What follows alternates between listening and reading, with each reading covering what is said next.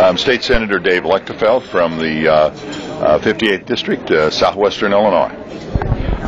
Downstate Democrats and Republicans look a lot like uh, rural voters in outstate Missouri, Indiana. How are how is Obama's message going to resonate in your district?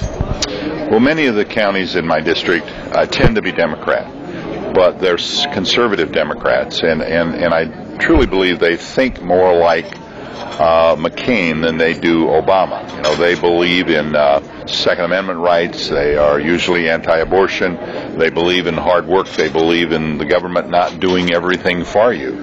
So I, I, I, I sense that McCain will do well in downstate Illinois, even in some of the Democratic districts.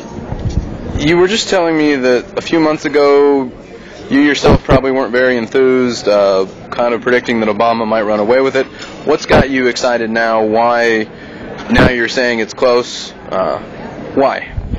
Well, well, well first of all, I, I think the pick of of, uh, of Governor Palin has excited the the uh, Republican Party. You know, you saw an awful lot of excitement, certainly in the Democratic National Convention. Uh, I think that excitement is also going to be in, in and I worried about that in the uh, in the Republican convention. Uh, so I, I I feel also that people are starting to focus in on the fact that John McCain uh, is you, you just feel more comfortable as far as foreign affairs are concerned, and as far as our fight with terrorism, you feel more comfortable with a man who who really understands that issue uh, very well, and and I think people will finally come to that conclusion, especially in in downstate Illinois.